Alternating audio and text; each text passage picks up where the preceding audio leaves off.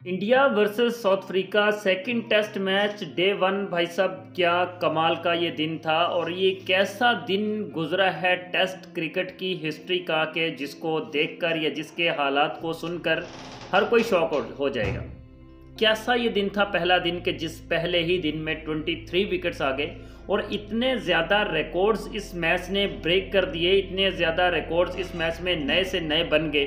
कि जिनको सुनकर भाई हैरानगी होती है कि क्या ये वाकई टेस्ट क्रिकेट चल रही है। और ये वाकई ही टेस्ट क्रिकेट ही थी South Africa versus India second test match, जिसके पहले ही दिन 23 विकेट्स आए और साउथ अफ्रीकन टीम एक बार ऑल आउट होकर चली गई, फिर उसके बाद टीम इंडिया आई, वो भी ऑल आउट होकर चली गई और फिर उसके बाद साउथ अफ्रीकन टीम की बैटिंग आई तो वो फिर से तीन विकेट्स लूज कर दिए उसने।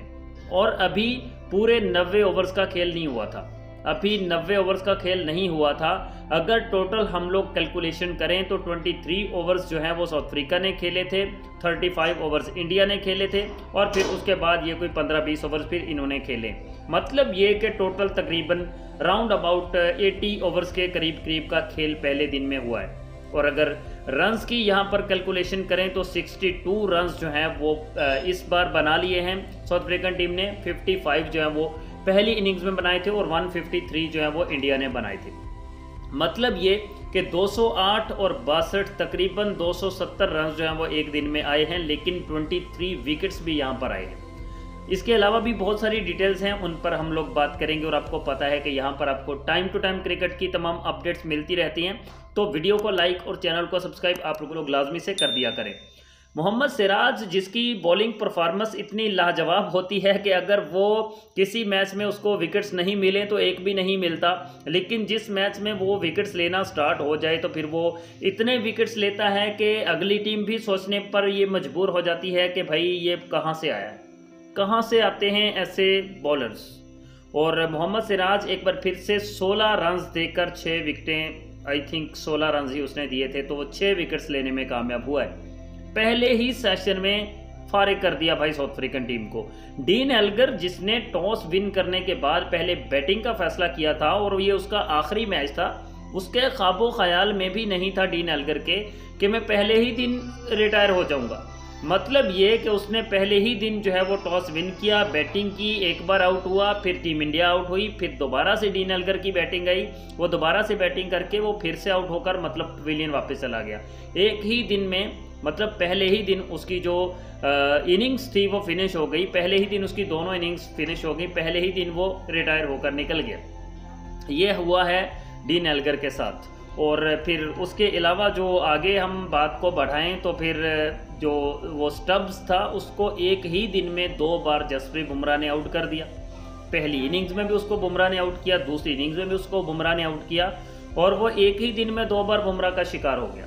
और ये तो दूसरी इनिंग्स में मोहम्मद सिराज को कोई विकेट नहीं मिले हैं अभी तक, वरना ये यहाँ पर दो तीन बैट्समैन चार बैट्समैन ऐसे होते कि जो एक ही दिन में दो दो तीन तीन बार जो है वो मोहम्मद सिराज के हाथों ही आउट होते उसके बाद 153 रन्स जब इंडिया के थे तो इंडिया के चार ही आउट थे, लेकिन 153 पर इंडिया का ऑल आउट हो जाना भाई साहब हैरानगी होती कैसे 153 रन्स पर आपकी चार विकटें गिरी थी?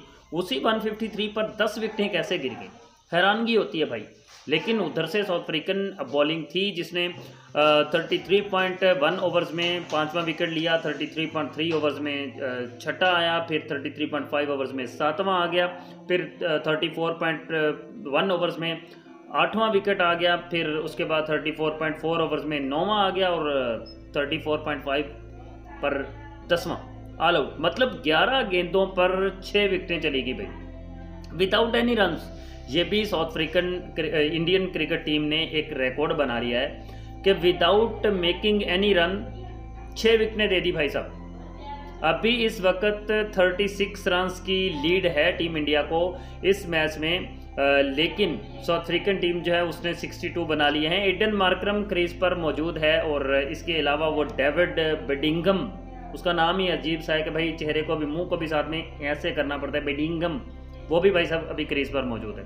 लेकिन बडिंगम की जो शॉट्स हैं, वो इतनी प्यारी शॉट्स वो लगाता है कि भाई दिल खुश हो जाता है। चाहे वो साउथ अफ्रीकन है, चाहे वो कोई भी हम क्रिकेट लवर्स हैं क्रिकेट पर बात करते हैं तो बेडिंगम जब शॉट लगाता है तो भाई साहब दिल खुश हो जाता है। क्या वो खड़े खड़े इतनी प्यारी शॉट्स वो लगाता है कि मज़े आ जाते हैं। बट वेल डन भाई cricket is the name of this kind ये जो चीज़ें हुई हैं, यही क्रिकेट है, यही क्रिकेट के मज़े हैं, यही क्रिकेट की इंटरटेनमेंट है, जिसके लिए लोग बैठते हैं मैचेस को वॉच करते हैं टीवी पर मिलियन मिलियंस में व्यूज़ आते हैं, लोग इसी चीज़ के लिए देखा करते हैं। और आज लोगों के देखने के जो पैसे हैं, वो पूरे हुए हैं, लोगों ने इंजॉय किया है, देखा है मैच को, हमने भी देखा है भाई, और मज़े आ गए हैं।